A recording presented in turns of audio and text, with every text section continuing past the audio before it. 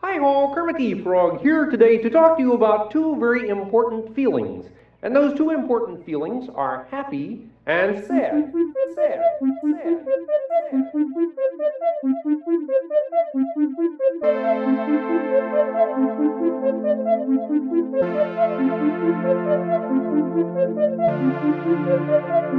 Sad.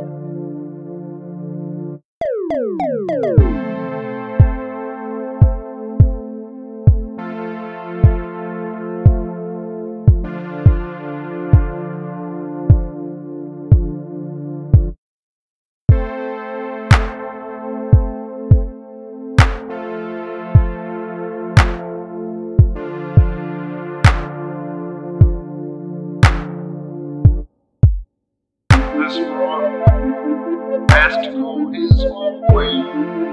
This frog doesn't care what the other frogs say. This frog wants to be happy